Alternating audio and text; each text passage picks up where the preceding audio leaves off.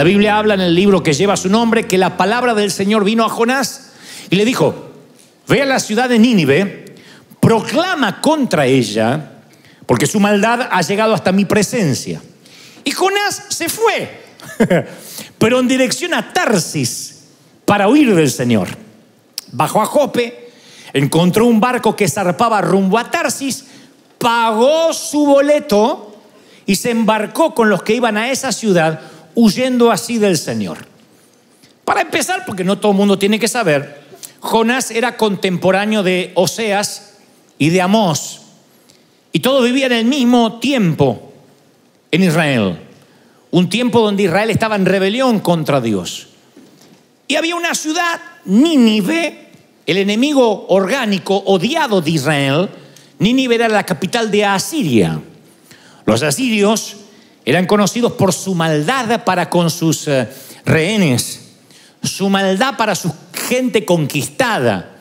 Porque cuando conquistaban a cualquier ciudad, a cualquier imperio, los asirios violaban a sus mujeres, torturaban a sus hijos, los desmembraban. Los libros históricos cuentan que los asirios eran tan crueles que escribían en los muros eh, con la sangre de sus víctimas.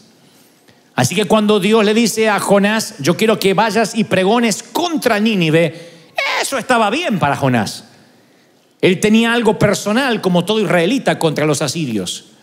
Pero le dice, quiero que pregones que si se arrepienten yo los voy a perdonar. Está hablando de los mismos que decapitaban a sus enemigos, que infringían dolor, temidos y odiados, y Dios en su gracia les va a dar una segunda oportunidad. Diles que se tienen que arrepentir. Jonás, si tú predicas bien el mensaje y lo haces de manera correcta, todos los ninivitas se van a arrepentir y yo voy a traer un avivamiento a la ciudad. Eso no sonó bien para Jonás, así que el profeta ahora tiene dos problemas. Número uno, a mi humilde entender, si Jonás predica y Nínive se arrepiente, los asirios se arrepienten, él va a sentir que traiciona a su pueblo israelita. Porque está dándole una oportunidad a estos desgraciados que tendrían que morir, a estos condenados. Él sentirá que va a ayudar a preservar con vida al temible enemigo de Israel. Si no se arrepienten, si ni siquiera reciben su mensaje, su vida corre peligro. Porque los ninivitas descuartizan a los profetas, especialmente si traen un mensaje de condenación y además si son israelitas. Así que Jonás, como sea, está fregado. Está entre la espada y la pared. Vaya o no vaya, él siente que está en un conflicto de intereses. No quiere predicar. No quiere que se arrepientan ni tampoco quiere que no se arrepientan. Así que hace lo que no debió hacer nunca. Una tercera opción. Escapa. No acepta lo que Dios le dice, se revela. Encuentra un viaje, un barco hacia Tarsis, paga su boleto y se sube a bordo. Ahora, este es el primer principio. Permíteme dibujarte un mapa mental. Nínive estaba literalmente a 900 kilómetros al este de Israel. 900 kilómetros al este está Nínive. Él está aquí, Nínive está a 900 kilómetros al este. Tarsis es una ciudad de Europa, España, está a 4.000 kilómetros al oeste. O sea que realmente este tipo está escapando. 900 kilómetros está la voluntad de Dios, al este. 4.000 para el otro lado no está la voluntad de Dios. Yo encuentro a un hombre que en vez de recorrer 900 kilómetros en la voluntad de Dios, está dispuesto a viajar 4.000 para alejarse de su voluntad. Siempre que uno desobedece a Dios, el viaje es más largo. Quiero que te lo grabes cognitivamente en la corteza cerebral, en tu corazón. Cada vez que uno se mueve de donde Dios quiere enviarte, eso te va a llevar mucho más lejos de lo que planificabas viajar. Cada vez que desobedeces tienes un viaje más largo tenía 900 kilómetros obedeciendo a Dios, tiene 4000 desobedeciendo. Ahora, no necesariamente lo que te está pasando tiene que ver con el enemigo o algo que Dios haya provocado, sino con malas decisiones que tomamos. En algún momento Dios nos envía a hacer algo. Y no hablo necesariamente de ministerio, a veces es cortar una relación tóxica, a veces es iniciar una relación, a veces es terminar con un empleo, a veces es mudarte de lugar, tener una vida intencional, hacer algo. Cuando no lo haces, tú empiezas a viajar en dirección contraria, de modo que te alejas de lo que Dios quería para ti y haces un viaje más largo. Y muchos ni siquiera, no es que no están en Nínive, 900 kilómetros para acá, ni siquiera se quedaron en Israel, mínimo. Se fueron 4.000 kilómetros para el otro lado tomando una decisión a su manera. Y a mi manera puede ser una linda canción de Polanca interpretado por Frank Sinatra, pero no sirve para vivir. My way. Uno no puede tomar su propio camino, su propia manera cuando estás en las manos de Dios. Y ese kilometraje, ese millaje adicional, es lo que Dios nos quiere ahorrar. Yo entendí, y lo entendí de la peor manera, que los 40 años de desierto no siempre son obligatorios para todo mundo. Yo me crié en una iglesia donde me decían, el proceso del desierto no se puede evitar. Si quieres la tierra prometida, pasarás por el desierto. Pero yo veo a un Dios que pudo haber llevado a Israel en meses a Canaán, acá de Barnea. Sin embargo, dieron vuelta en círculos por 40 años, no porque Dios quiso por deporte. Él no jugaba con los seres humanos como si fuesen marionetas. Ellos decidieron dar vueltas por, debido a su incredulidad. Y el Señor me muestra a través de las escrituras que no tienes que pasar ciertos desiertos. Hay gente acá atravesando aguas muy turbulentas. El Espíritu Santo me mostraba gente triste, familias tristes por decisiones que han tomado y están atravesando un viaje a Tarsis que yo no los mandé. Cuando no obedeces a Dios, automáticamente desobedeces. No hay términos medios. La Biblia no tiene términos medios, ni siquiera hay lugares vacíos. O estás lleno de Dios o estás lleno del diablo. O obedeces a Dios o estás en desobediencia. No hay cosa como neutralidad. Tú no puedes mantenerte neutral. Tú no puedes estar en la mitad de algo. Tú no puedes obedecer a Dios por aproximación. Bueno, Él me manda a Nínive, pero puedo ir a una ciudad cercana a Nínive. No. Desobedeces, tanto te vayas para allá, para allá o a Tarsis. Cuando Dios te da una dirección y te pierdes, el camino es más largo y uno se enfada. Siempre el, el camino es el más largo cuando desobedeces a Dios. Pero hay otro principio más que el Señor me mostraba, que el regreso también será largo. El regreso no será fácil. Porque cuando tú en algún momento decidas darte cuenta que estás mal, que tomaste una decisión fuera de la voluntad de Dios, hay cuatro mil kilómetros entre tú y el punto de partida. Ni hablar de donde Dios te quería al comienzo, que de donde el punto de partida todavía hay 900 kilómetros más hasta Nínive. En otras palabras, el viaje de regreso también es largo. Hay gente que se aleja de Dios por años, hace las cosas mal y pretende que Dios lo arregle con un I'm sorry. I'm sorry, I'm sorry, I'm sorry, I'm sorry. Quiere un de repente. Un de repente es la llenura del Espíritu Santo. Pero cuando tú haces las cosas mal por años, el regreso te va a costar. No hay manera de obviar eso, no hay manera de saltarse el hacer las cosas mal. Hay padres que se han venido a este país para trabajar y han dejado a sus hijos en, sus países natales respectivos. Me consta, gente que tiene sus hijos allá, los dejó chiquititos. Está bien, no estoy juzgando tus motivaciones nobles de darle una vida más digna a los tuyos. Pero esa desconexión se paga. Ese viaje de regreso es largo. Después viene esa mamá cuando el hijo tiene 20 años y dice, mi hijo está en la droga, mi hijo está perdido. Yo quiero que le ore para que se le vaya el espíritu. Y no es un espíritu. No tiene que ver el diablo. Son años de desconexión que el viaje de regreso te va a costar. Tú no puedes pedir que Dios en un santiamén arregle una vida de hacer las cosas mal. Te perdona, las cosas son hechas nuevas, pero hay consecuencias que afrontar. Hay gente que no diezma nunca. No diezma porque no tiene, porque no puede, porque no me alcanza. Un día no aguanta más la escasez y pone un diezmo y ya quiere que ocurra el milagro. ¿Qué pasa, Señor? Eh, ya, ya, puse el diezmo. Y, y, y yo te estoy probando. Ah, mira vos. Con un diezmo quiere arreglar años de no pagar sus deudas con Dios. Porque cuando uno se aleja cuatro mil kilómetros, no puede arreglarlo haciendo un ajuste menor.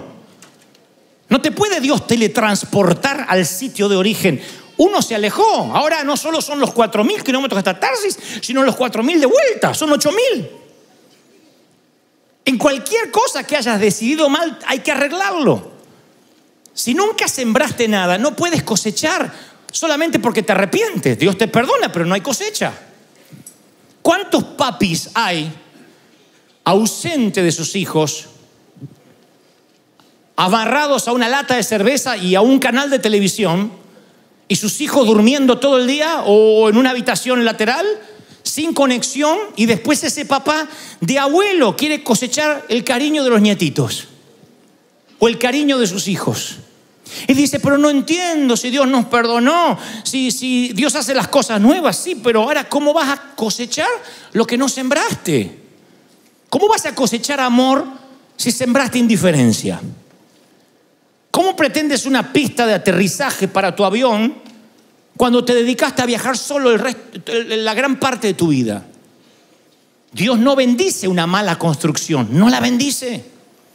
Yo sé que no oirás esto mucho, pero es mi obligación como papá decirte, Dios no bendecirá una construcción con malos cimientos, sin planos, una casa amorfa.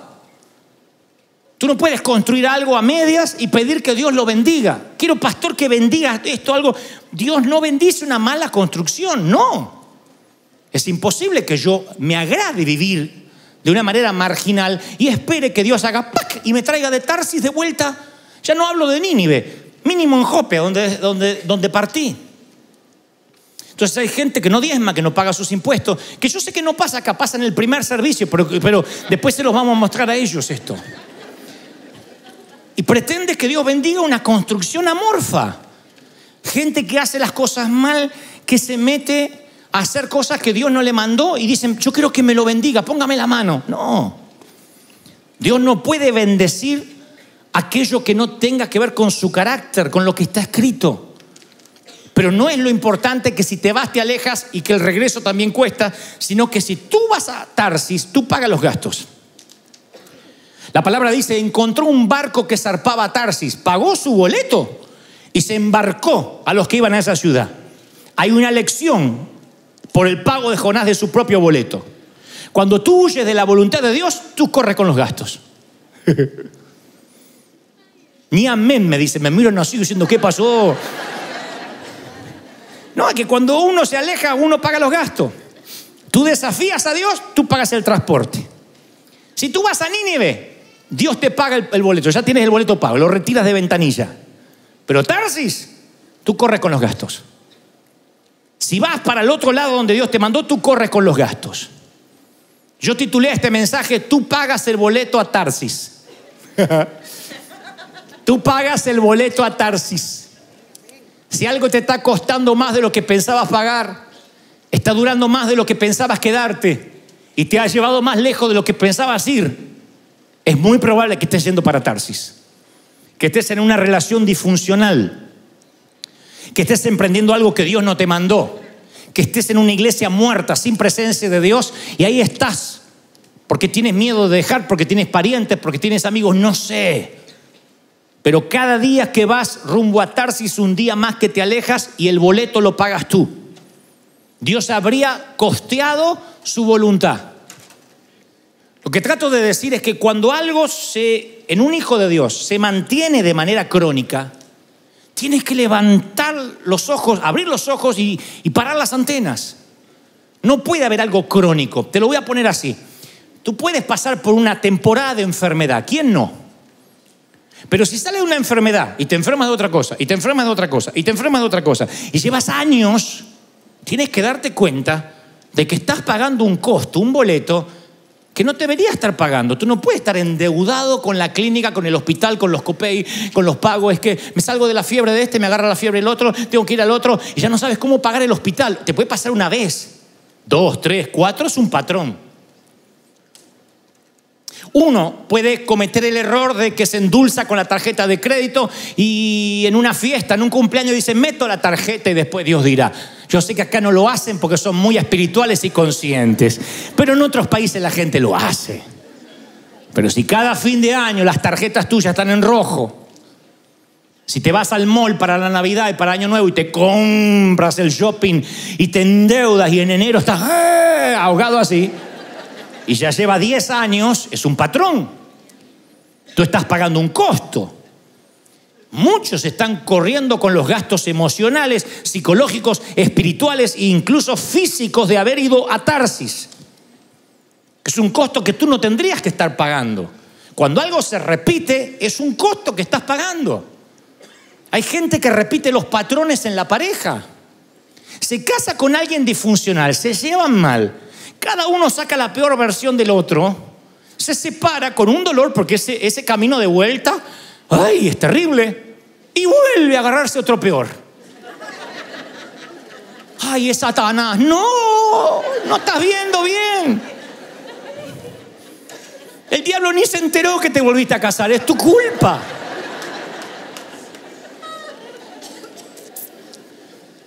Estás pagando un boleto a Tarsis. Tú siempre pagas el boleto a Tarsis. Jonás fue y se lo pagó. No dijo, vengo a buscar el boleto que Dios me dejó pago. Él se pagó el boleto. Siempre nos pagamos el boleto para el otro lado. Y se sube y se va a una ciudad de España, lejos, 4.000 kilómetros al otro lado. Técnicamente 4.900 kilómetros para el otro lado donde Dios lo estaba mandando. Fíjate que quería realmente escapar. Ahora, yo sigo leyendo las escrituras y veo otro detalle que no lo había visto antes. ¿Por qué Dios no impidió que Jonás se subiera en el barco en Jope? ¿Por qué le embarcó en Jope para Tarsis? ¿Por qué Dios no lo impidió?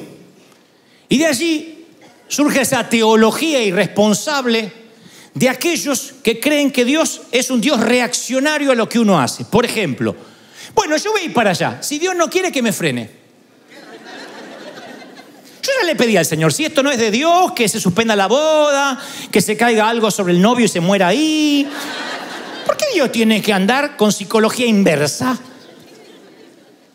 ¿Cuánto uno puede criar a un hijo que dice, mami, voy a poner los dedos en el enchufe, si esto no es tuyo, parame? Mm, ¿Cuánto? Cruzo la acera sin mirar, si esto es peligroso, parame. No se puede tener un hijo así. Porque uno es un bombero apagando incendios. Y creemos que Dios trabaja en el 911, apagando nuestros incendios. Yo he escuchado gente decir, yo emprendo cualquier cosa que Dios me pare. Si no tengo que hacer este viaje, que suspendan el vuelo. Si viajas en Avianca, se suspende todos los días y nunca sabes si Dios, si te está hablando. ¿Cómo si, si esto no es de Dios, que Dios me pare? Lo frenó. Se tomó, compró el boleto, se subió, se puso los auriculares, el tipo, y se fue. Pero cuando te vas a Tarsis, Dios no te va a frenar cuando embarcas, te va a encontrar en medio de la nada. Te va a encontrar en medio del océano.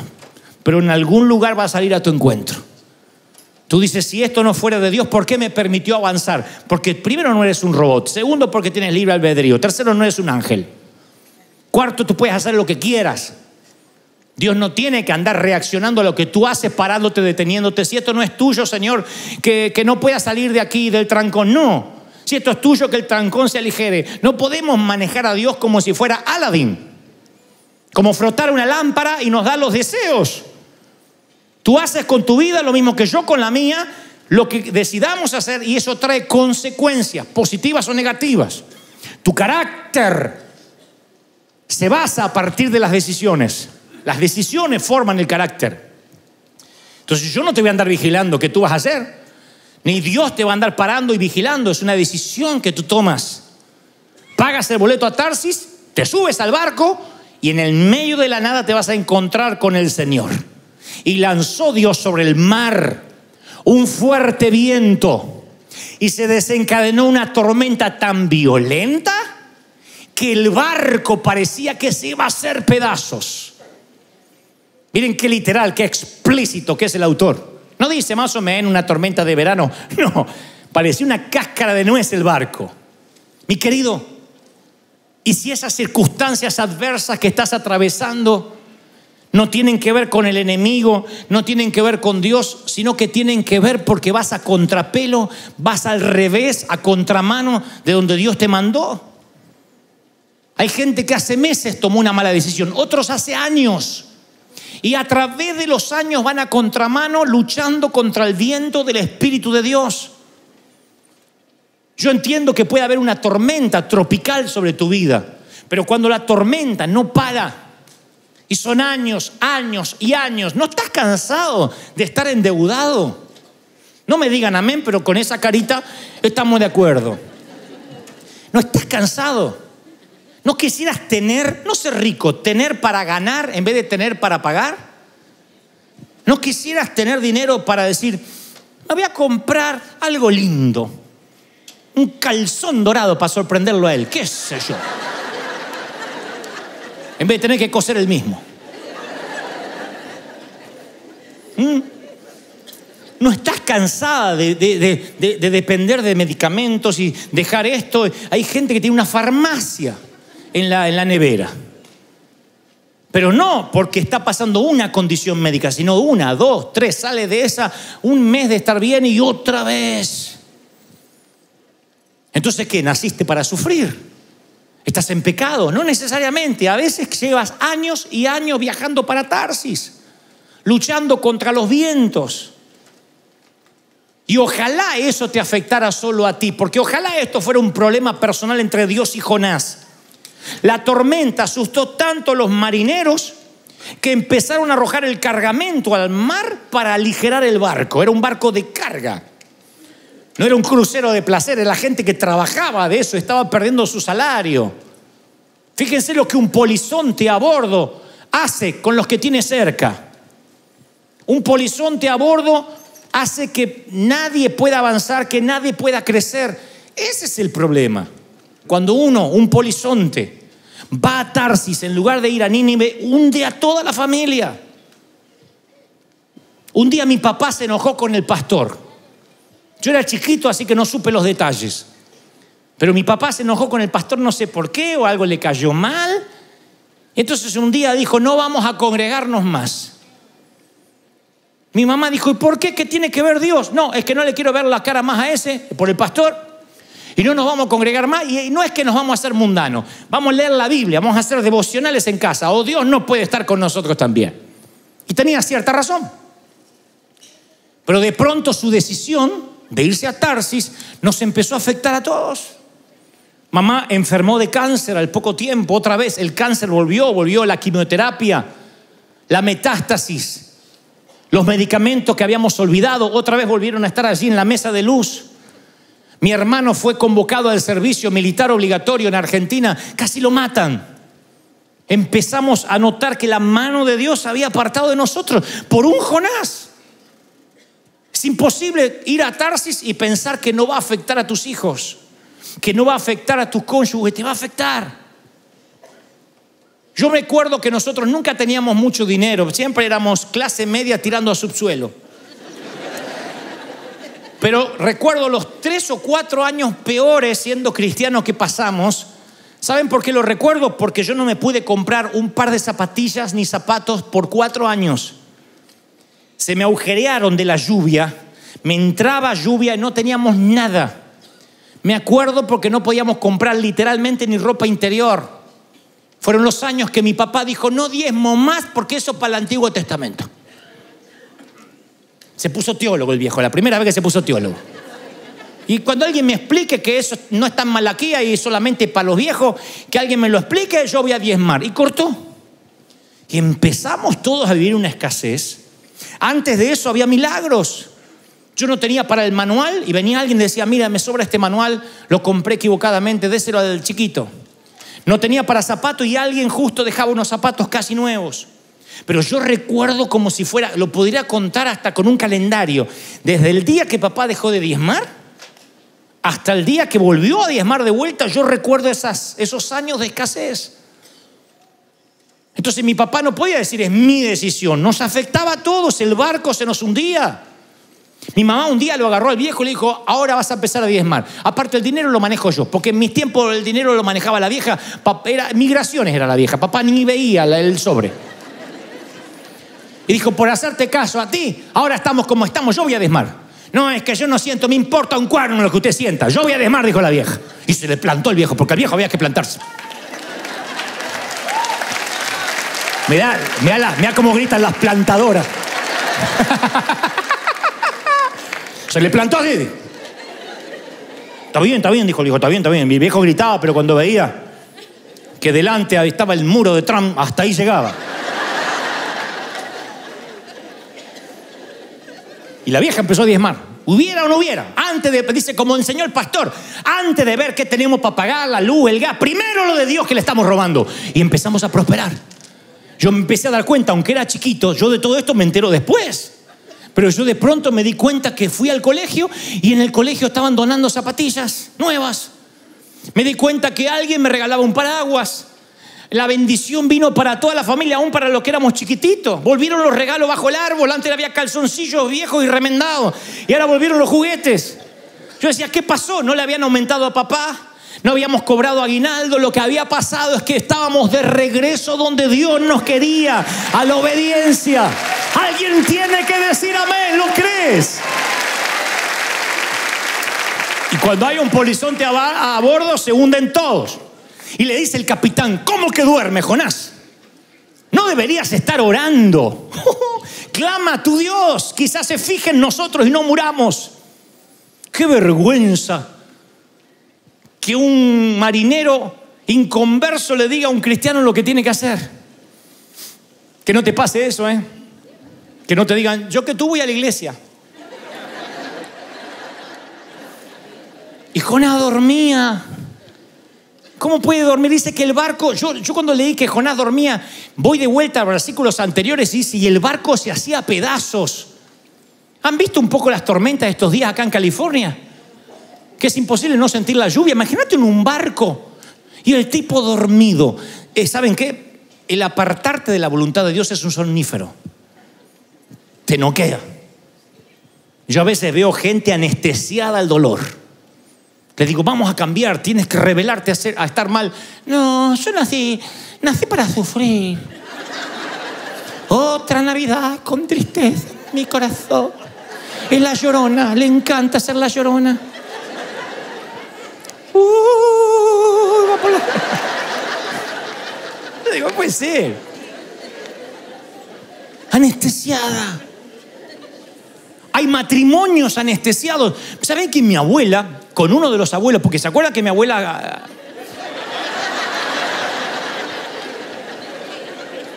Era rápida y no era corredora, para que se entienda. Tuvo varios maridos, pero me acuerdo, el, el que yo más conocí, el abuelo Santiago, se odiaban con la abuela. Años llevaban juntos.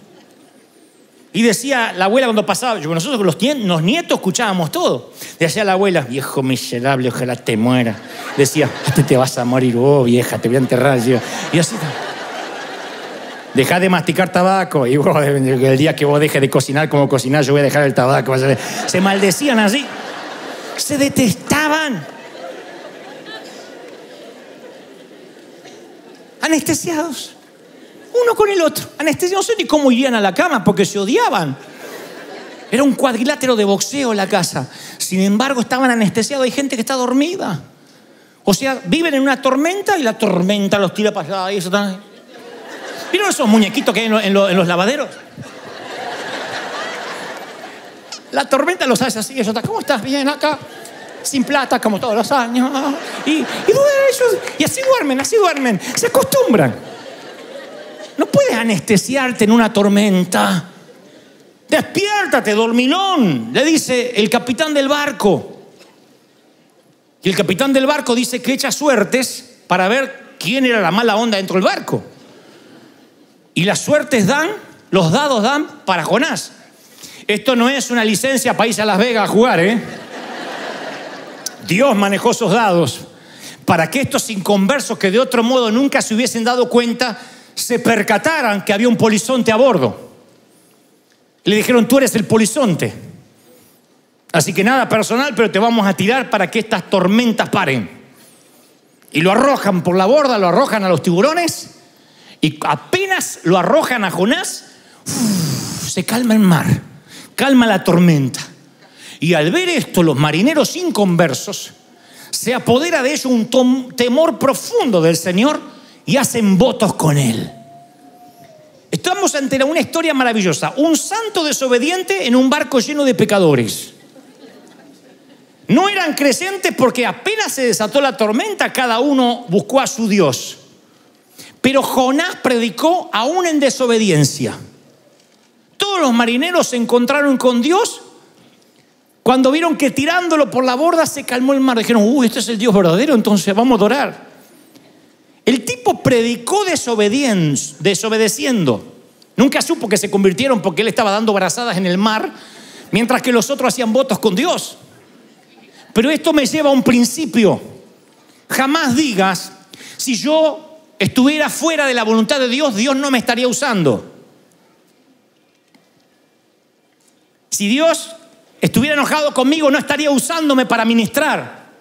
Acá veo a Jonás, que Dios lo está usando para que se conviertan todos, y el tipo está equivocada, equivocado. Porque hay gente que piensa, bueno, si estuviera mal con Dios, tal vez yo no estaría sirviendo como le estoy sirviendo.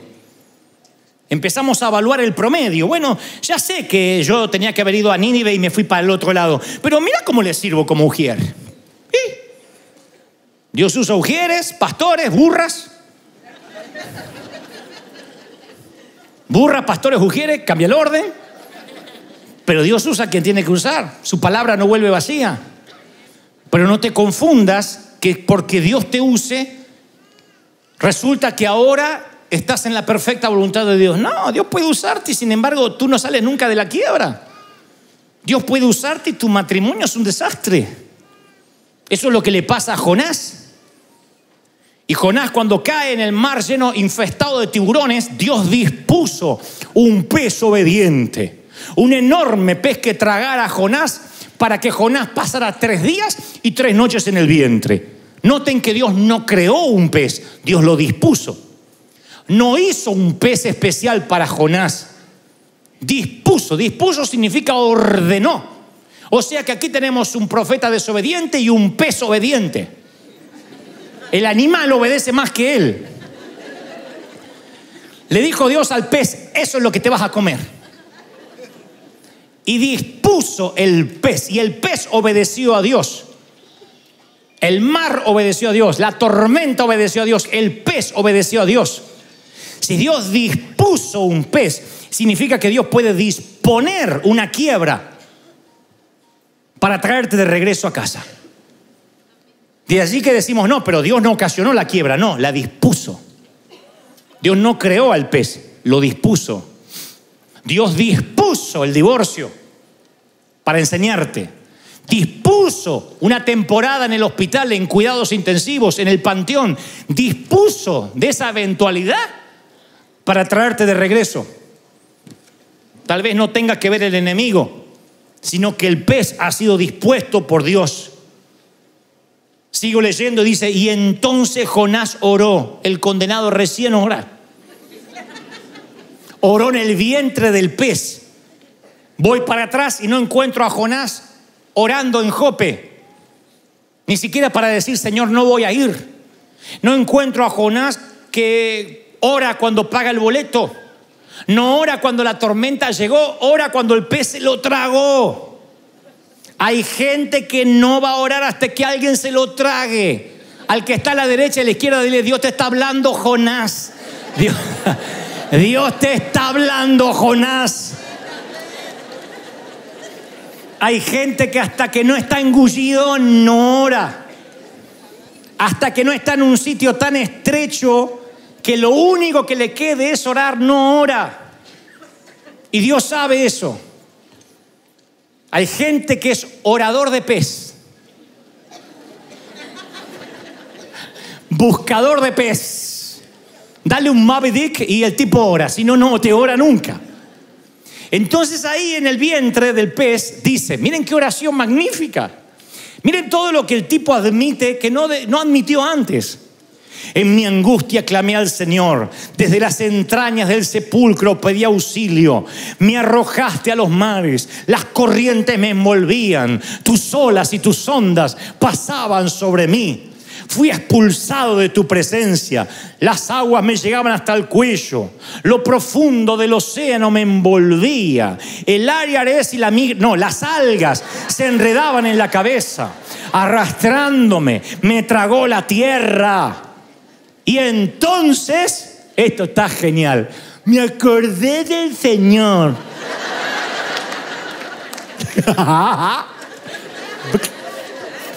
en cesta. ¿Se acuerda del Señor?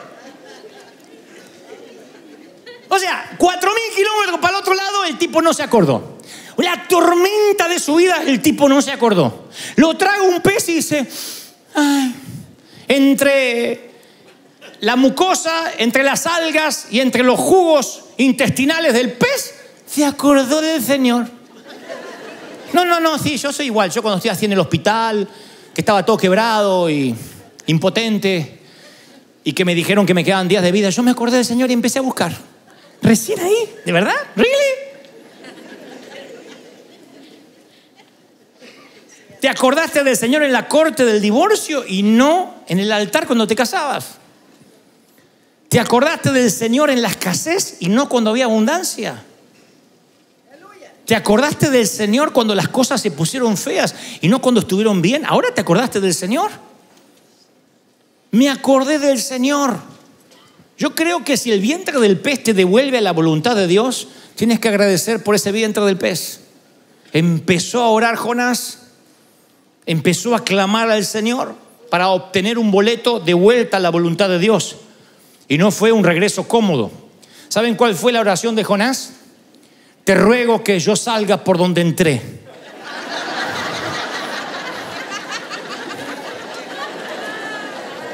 Alguno no entendió, lo explican después en casa. Cuando el pez comienza con arcada, dice, aleluya, gloria a Dios. Envuelvo en vómito no es lo mismo que envuelto en otra cosa por atrás.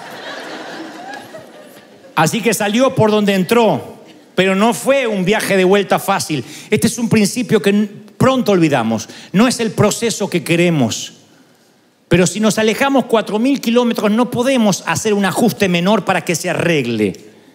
Hay gente que hace años que hace las cosas mal y, y la queremos arreglar con un I'm sorry. Tú no puedes ir en otra dirección sin darte unos cuantos golpes a la vuelta. Cuanto más permanezcas en el barco a Tarsis, más largo, más húmedo va a ser el regreso ese barco, ese, ese pez, lo que te traiga de vuelta no se llama Titanic, se llama consecuencias. Y el barco o el pez de las consecuencias viajan contigo. Entonces hay gente que quiere, insisto, un de repente para que se le arregle años de hacer las cosas mal y vas a tener que sembrar mucho. Vas a tener, no estoy hablando del perdón de Dios, de la gracia divina. No está en juego, no está en debate. Hablo de la cosecha. Que el viaje de regreso siempre es difícil. Nunca. Eh, Jonás pudo haber dicho, ok, está bien, entendí, entendí. Con la tormenta entendí. Si quieres que vuelva, póngame, ponme un business de regreso. Y no a Bianca, quiero en American Airlines. Está bien, entendí. Con la tormenta ya entendí. Ponme un primera clase para regresar. No, entendiste, me alegro, pero vuelves en pez. Yo hice el pez y ese es mi medio de transporte. Vuelves en pez. Yo te quise pagar el boleto a Nínive, 900 kilómetros donde estaba. Te fuiste 4.000 para el otro lado y quieres volver bajo tus condiciones. Vuelves en pez. Pregúntele en aquel que atraviesa las aguas del divorcio si fue cómodo el regreso. Pregúntele en aquel que de pronto cometió errores, abortos, si el regreso a su salud mental fue rápido. Dios perdonó, Dios hizo las cosas nuevas, pero el regreso cuesta. Yo he tenido regresos en pez. Yo era un viajero frecuente de pez. Venía el pez, me volteaba y decía al asiento de siempre, me metía. y me traía Dios de vuelta. Yo era viajero frecuente, era miembro admiral del pez. Y Dios me traía de vuelta una y otra vez y nunca eran regresos cómodos. Nunca. A veces confiaba en hombres de negocios, en empresarios, en vez de confiar en Dios. Y por, en vez de orar a Dios, iba y pedía quien no tenía que pedir. El tipo me prestaba, a veces eran usureros y a veces no eran usureros, pero me volvían loco. Yo decía, si Satanás me hubiese prestado, no me salía tan caro. El tipo me volvía loco, me llamaba por teléfono, me controlaba. Y yo decía, Señor, ¿por qué? Porque yo no te mandé. ¿Para qué fuiste a hablar en tu desesperación? ¿Por qué no confiaste en mí? ¿Por qué no esperaste que yo pagara tu boleto? Si yo te mando a hacer algo, soy un Dios informado. ¿Por qué en tu desesperación quieres ayudar a Dios? Si Dios te dice, Abraham, tendrás hijos con esa mujer, ¿por qué te acuestas con la esclava para querer ayudarme? ¿Por qué quieres acelerar los procesos divinos? Cuando uno acelera los procesos divinos o desobedece, paga el boleto a Tarsis y vaya que lo paga, porque encima no incluye la vuelta. La vuelta es en pez. Y cuando estás en un vientre allí, en una zona estrecha, te acuerdas de Dios, pero cuesta dolor. Cuesta amargura, son consecuencias. Y Jonás es vomitado en la voluntad de Dios. Dios no hace nada hasta que él se acuerda de Dios. Y ahí dice la Biblia que es vomitado en tierra seca. No fue vomitado en Nínive, no hay playas en Nínive. Así que yo considero que fue vomitado en Jope, donde él embarcó. Y este no es un tema menor. Cuando regresas a lo que Dios quería que regreses, Él no te va a llevar donde te mandó. Tú tienes ahora que empezar a ir donde te mandó. Él te va a llevar a donde tú te empezaste a equivocar, al punto de partida. Diré esto una vez y que el Espíritu Santo te haga oír lo que tienes que oír. No te sorprendas si Dios te hace volver a sitios donde saliste por la ventana hasta que aprendas a salir por la puerta.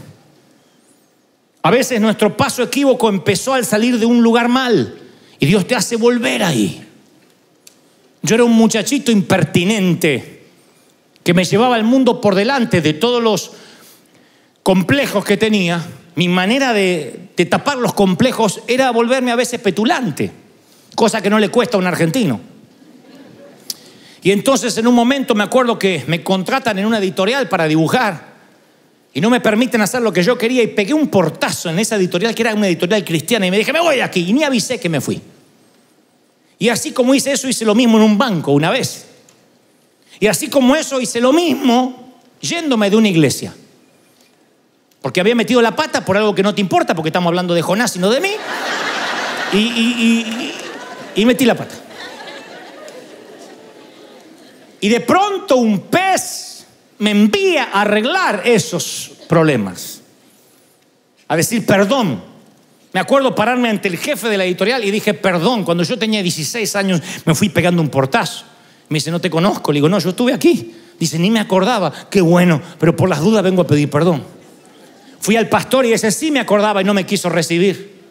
Pero más tarde fue un hombre que me empezó a apoyar y dijo, yo nunca voy a olvidar que viniste a pedir perdón.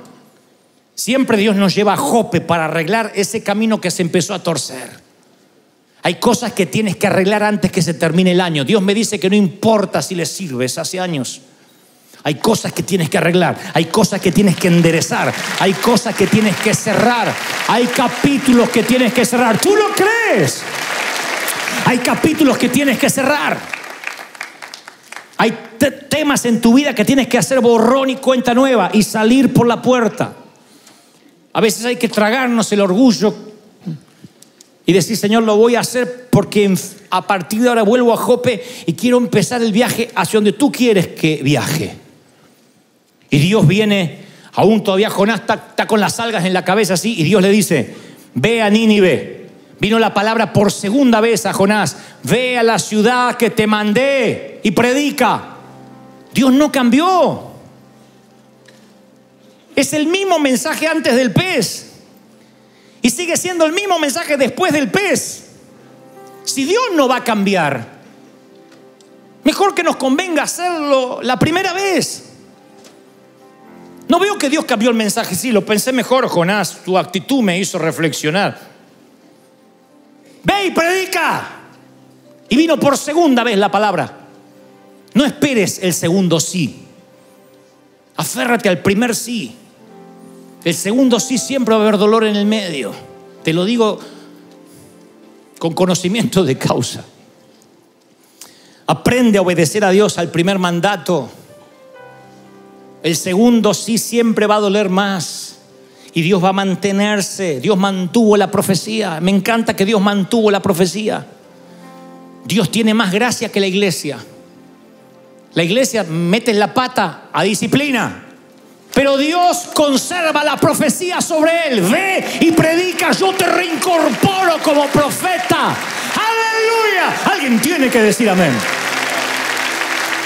Aquí está Dios enrolándolo, incorporándolo como profeta.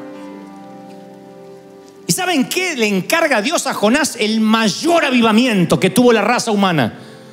No, no, no, no es Pensacola, no es la calle Azusa, no es Reinhard Bunke en África, este es el mayor avivamiento. Dice la palabra que desde el rey hasta el corral de las ovejas, todo mundo se arrepintió en Nínive. Los asirios malvados, enemigos orgánicos de Israel, se arrepintieron. Y el rey dijo que todo el mundo se vista de silicio, se arrepienta. Y todo Nínive se arrepintió. Un avivamiento se generó en Nínive a causa de un profeta desobediente. A mí me alienta esto. Porque Dios reincorpora a los que fallan, incluso a los ministros caídos. Cuidado con alguna vez decir, aquel cayó, aquel pecó, aquel me enteré que se divorció. Cuidado.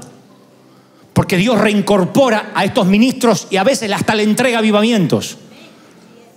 Dios no mide como medimos nosotros. Dios reincorporó a Jonás. Cualquiera lo hubiese echado de la iglesia y le hubiese quitado las credenciales. Un tipo que Dios lo manda para allá se va para el otro lado. Desata una tormenta, le cuesta la carga a los marineros. Un pez lo tiene que vomitar y encima Dios le da el avivamiento. ¿Por qué no se lo da a Nahum, a Amós? Es que Dios conserva la profecía que hay sobre ti. A pesar de que te desviaste, a pesar de que tuviste años metiendo la pata, Dios dice, si tan solo, si tan solo tú vuelves a Jope y crees que puedes obedecer y dices, Señor, esta vez no me voy a mover de tu voluntad, yo voy a conservar la palabra que solté sobre tu vida. Vas a ser un canal de bendición, vas a provocar el avivamiento, no en la calle Broadway, sino donde vayas te voy a bendecir. Si crees que Dios habló, celebra con un aplauso al Rey de Reyes. ¡Wow! ¡Wow! Vamos, vamos, vamos, vamos, vamos, vamos. Dale un aplauso. El Rey está en casa. El Rey, el Rey, el Rey, el Rey.